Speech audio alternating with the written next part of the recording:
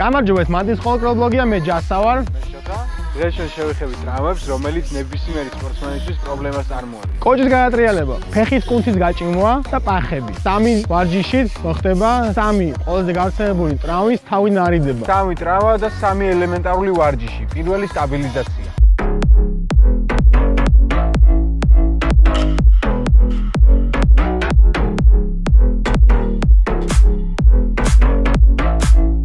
შემდეგ იქნება ფეხის უკანა კუნთის გაჭიმულობის ვარჯიში.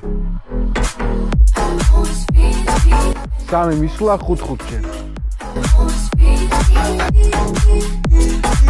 შემდეგ ვარჯიში ჩვენ გასწავლით როგორ გავხურდეთ და გავაძლიეროთ პახები.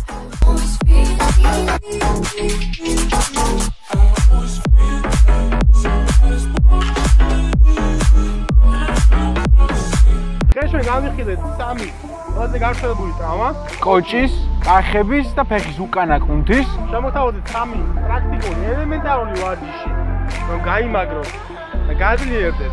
იმედია ტრავმების გარეშე ჩაივლის თქვენი კარიერა, ეს იყო მანტისის ყოველკვირეული ბლოგი, მე ვარ შოთა. მე ჯასა. დროებით.